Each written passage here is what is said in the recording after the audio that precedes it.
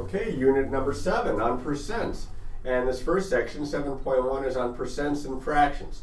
Now you see percents uh, pretty much every day. If you walk into a store, you might see a sign that says 25% off, big sale. Or if you read the sports page, you might see that a particular basketball player makes 83% of his free throws and maybe makes 35% of his three-point shots. I mean, if you think about it, in the state of Nevada, we pay we pay 8.1 percent sales tax. Uh, maybe we get two percent for our savings accounts and interest. Percents are everywhere, and so we need to have a, a better understanding and be able to work with percents. And uh, the, the start here is to know what a percent is, and a percent is a ratio. That's why this section follows the last section, because in the last unit we were talking about ratios and proportions. In this section, we talk about percents, which is a special type of ratio, and we'll use proportions to help us solve percent problems. A percent is a ratio whose denominator is 100. If you look at this, cent comes from the same Latin word that we get century, which is for 100 years, or cents, like there's 100 cents to a dollar, or even the ancient Roman centurion, who was a, Uh, a Roman officer that was in charge of 100 men. Cent means 100, so per cent means per 100, and of course we use this symbol to represent percents. So if I have 45 over 100, this ratio, 45 over 100, my denominator is 100, that's a percent. I write it as 45%. That percent sign means over 100. If I have uh, a variable over 100, p over 100, that means that that variable with that percent sign represents the same statement. This is p percent, p out of 100. Now, let's do a couple quick examples of that where we change percents and we write them as fractions. And of course, we're going to want to simplify. 39% means 39 out of 100. Now, 39 over 100 does not simplify anymore because there's no common factors greater than 1. 65% means 65 per 100 or over 100. Now, this one uh, as a fraction does simplify, I can divide top and bottom by 5. 5 goes in the top, 13, 5 goes in the bottom, 20, and I would write it as 13 over 20. Now let's take a couple of fractions and let's change these fractions into percents. Well, let's start with 9 over 10. We want to know how many is this out of 100. Well, to multiply uh, this 10, to make it into 100, you'd have to multiply by 10. I'm going to have to multiply the numerator by 10. I'm going to get 90. So this is 90%. And 2 fifths, if I want to know how many that is out of 100, what would I multiply times 5 to make it 100? Well, I would multiply by 20, so I'll multiply the top by 20. That would give me 40. 40 out of 100, or 40%. Now, there are some fractions that you should just know their equivalents as a percent.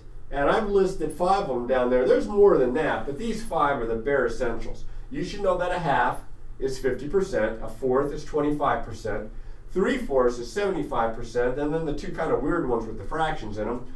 One third equals 33 and one third percent, and two thirds equals 66 and two thirds percent. You should put those to memory.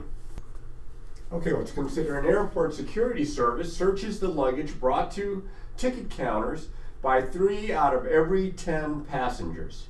If you're one of the persons in a group of 10 passengers, what is the probability that you will be chosen to have your baggage searched? And we're going to write the answers in percent. Well, probability, this is experimental probability.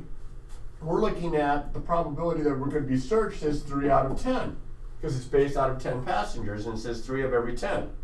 Now that would be the experimental probability, but they want it as a percent. So we want to know how many is that out of 100. So 10 times 10 is 100, times 10 is 30, so it's 30 out of 100, or 30%. Okay?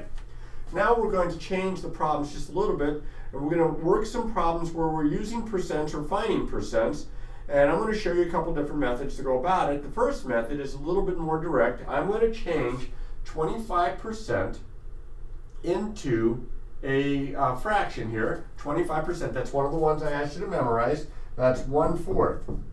Of means times in this situation. 25% of 36 means 1 fourth times 36, or 36 over 1, and that's 9.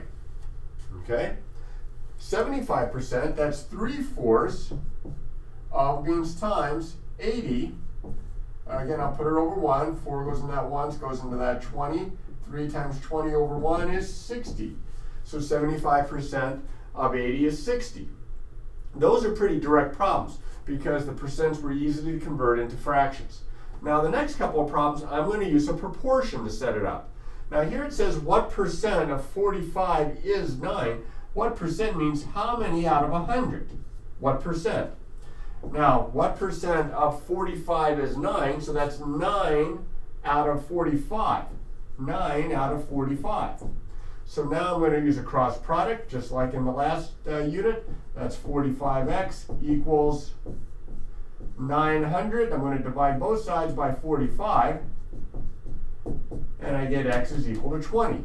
So the question says what percent, how many out of 100? x is 20, so it's 20%. The second one, we're given the percent, it says 14 is 20% of what number? 20%, remember, means 20 out of 100. Okay, so 20% uh, of what number is 14? So that means 14 out of this number. This is the number that we don't know. This is our variable. So 14 out of x. I'm going to cross multiply. I get 20x equals 100 times 14 or 1400. I'm going to divide both sides by 20 and I get x is equal to 70. Not 70%, but 70, because it says what number, not what percent. Now you may have noticed when I wrote my 20 over 100, my 20%, I could have simplified this. I could have simplified this by dividing top and bottom by 20 and writing this as 1 over 5. And then that would have made the numbers a little bit smaller and easier to work with. You have to be on the lookout for, for situations like that to help yourself out. All right, now we're going to be uh, spending more time on percents. Uh, not just in this unit, but in other units uh, later on in the book. And of course, percents make up a big part of the proficiency, so remember to practice, practice, practice.